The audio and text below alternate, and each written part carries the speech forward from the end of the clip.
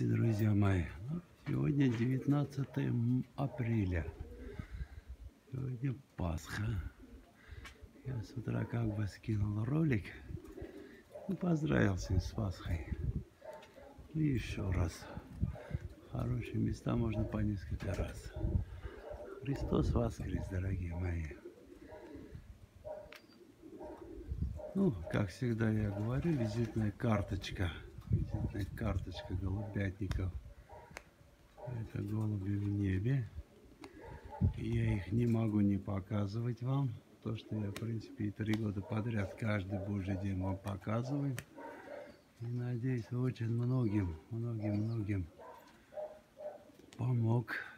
То, что они увидели, они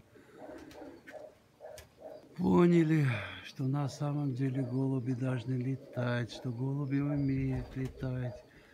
Голуби умеют выживать в небе. В общем, что эта птица создана как бы для лета. Что это летуны, а не пешеходы. Это не собаки, понимаете? Это собаки должны по земле бегать, ходить. А голуби должны летать. В общем, ну, я сегодня такой вам удивительный вещь покажу. И, как говорится, есть такая хорошая поговорка, говорит, не было счастья, да несчастье помогло. Да? Ну, в тех годах, моих роликах, я как бы показывал, что именно в этот день День Пасхи, Красной Горки, вот эта дорога, там трамвайная остановка конечная. То есть люди на трамвае подъезжают до конечного, потом пешком идут до кладбища, туда там находится наше кладбище. Ну, два года каждый раз я показывал, что тут в этот день была толпа людей. Как на демонстрацию у нас люди шли. Понимаете, все шли на кладбище.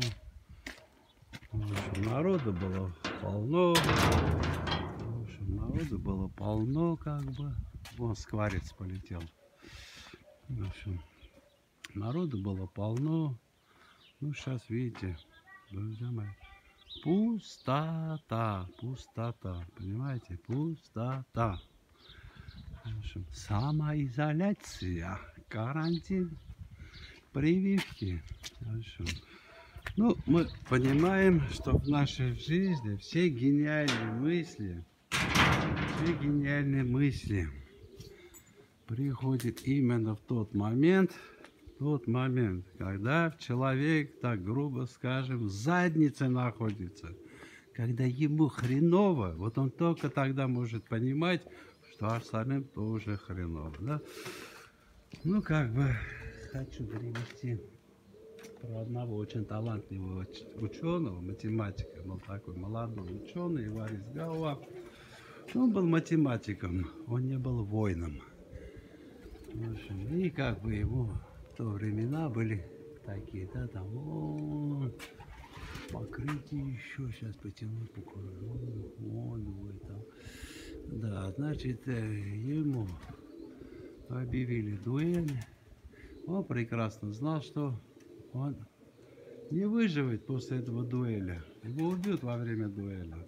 И за одну ночь он написал маленькую брошюрку. Эта маленькая брошюрка практически стала основой высшей математики. То есть за один ночь в нужде человек совершил чудо. Ну, надеюсь, что до наших голубятников тоже дойдет вот эта мысль совершит чудо. Очень часто я всем моим близким, когда что-то делают, говорю, я говорю, дорогие мои, вот ты что-то делаешь против кого-то, да, там, кого-то хочешь наказывать, кого-то хочешь помочь, кого-то хочешь объяснять, ну, что-то хочешь сделать. А вот представь себя то же самое делает в отношении тебя. Если тебе это нравится, общем, да. То есть ты там выкинул окурку неправильно, да, там кто-то тебя за уши потянул. Тебя это нравится? Нет. Но если тебя не нравится, значит и тебя самому не надо кому-то за уши потянуть, что там кто-то окурок выкинул, да.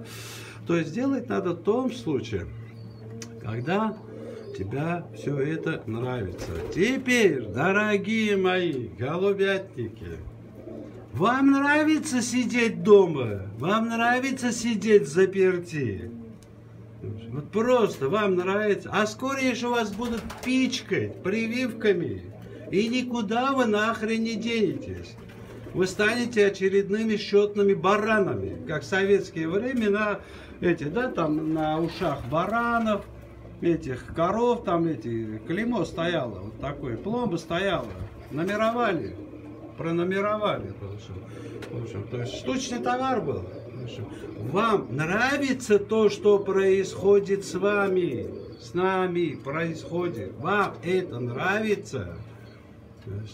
Ведь тоже же, вот как вы решаете за ваших голубей, да, вот я решил, что мои голуби должны сидеть в Валерии, значит, они должны сидеть в Валерии. Что их нельзя выпускать, я так решил, их нельзя выпускать, потому что я так решил. Вот их надо прививать, потому что я так решил, как хозяин, да, в общем, я их прививаю. Их надо кормить антибиотиками, я их кормлю. А вот свободу дать, правильно ли это, да, там, этого нельзя делать, потому что я так не хочу, ну, точнее, вы этого не хотите. Дорогие мои, а вам самим нравится, что вас сейчас загнали Валеры под названием дом, и никуда вы нахрен вы не должны выходить? Вам это нравится? Если вам это все нравится, значит и голубей вашего Валера нравится. А если вам это ужасно не терпится, значит выпускайте этих голубей. Вам ограничили ваши свободы. Почему? Как говорит, как это, да, говорит, Бог не Тимошка, видит немножко. Бог видит, как мы поступаем со, с нашими младшими братьями. Да, то же самое Он сделает с нами, понимаете? И в этой жизни, дорогие мои, бояться надо ни коронавируса, ни Трампа, ни Путина, ни Меркель, ни того, ни другой. Бояться надо Всевышнего и бояться надо самого себя потому что только Всевышний вам накажет, и вы сами себя накажете. Теперь вот такой гениальный мысль. А не пора ли нам дать свободу наших голубей? Не пора? Мне сегодня один из ребят тоже вот позвонил, вот у меня стало очень много голубей по твоим советам, вот это, да, там, что с ними делать? Я говорю, гонять. В общем, как? Я говорю, а зачем ты их развел? Может, кому-то отдать, кому-то продать. Я говорю, слышь, твои голуби никому не нужны, они нужны тебе. Ты их развел, ты их и гоняй.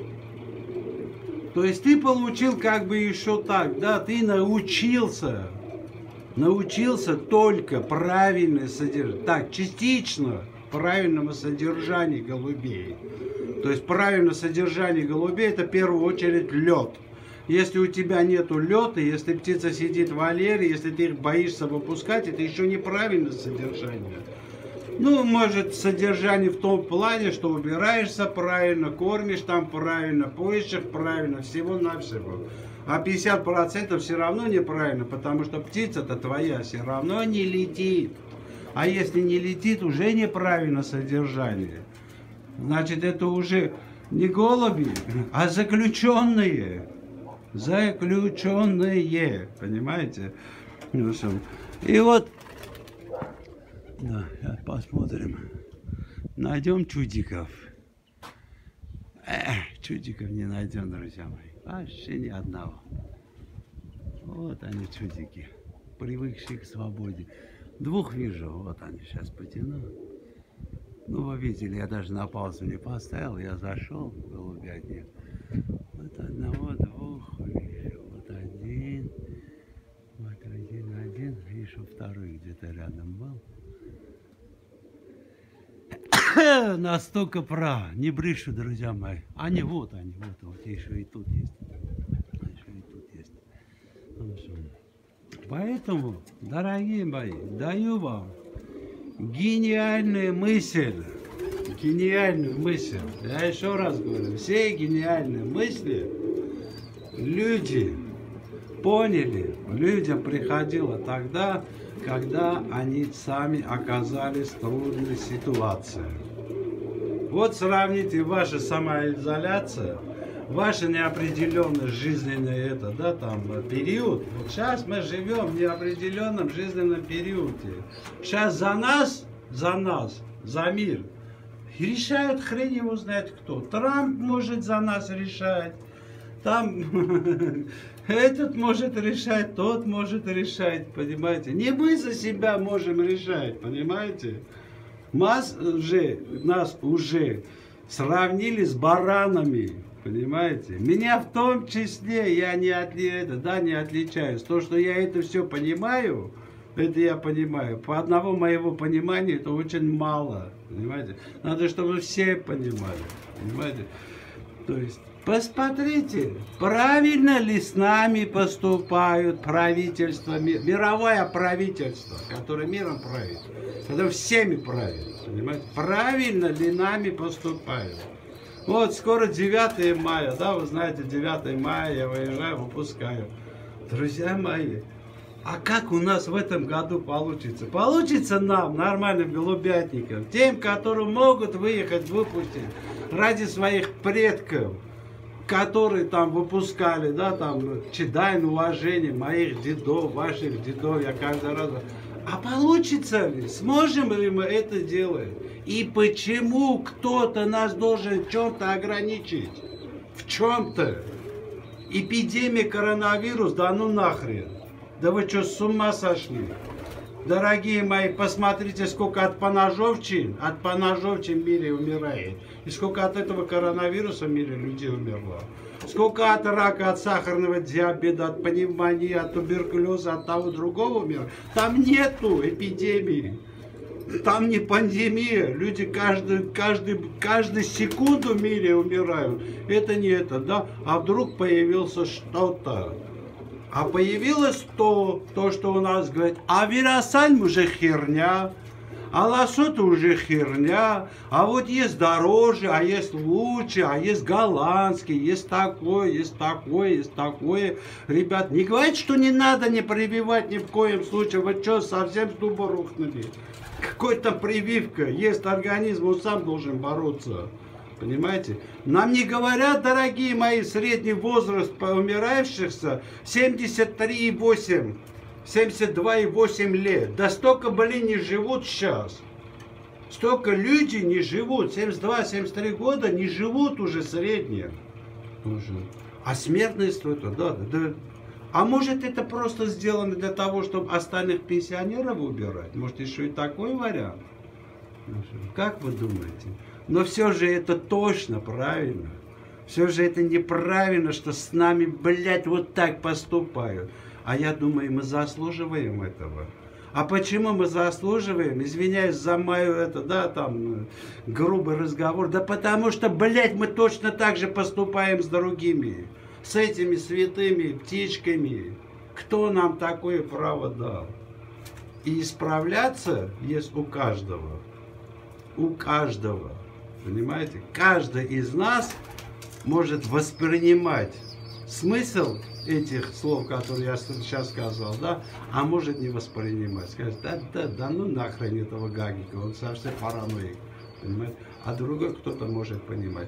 Ну, надеюсь, что все-таки над человеком верх берет всегда разум, а не глупость. Удачи всем, с праздником всем. Христос воскрес, дорогие мои.